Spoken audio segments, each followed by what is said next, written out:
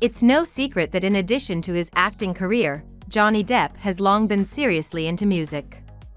And during the scandalous trial against Amber Heard, it was music that became his outlet and helped him get through. In July, Johnny Depp shared the stage with legendary guitar virtuoso Jeff Beck, and they also recorded a joint album.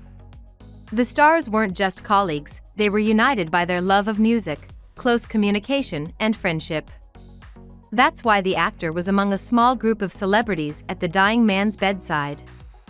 Jeff Beck died January 10, 2023, of bacterial meningitis. They had a very close friendship, they were very close, and last summer when they toured together, he got even closer. He's completely devastated. The actor was at Jeff's bedside with some other rock stars until Beck's death, a source shared with People.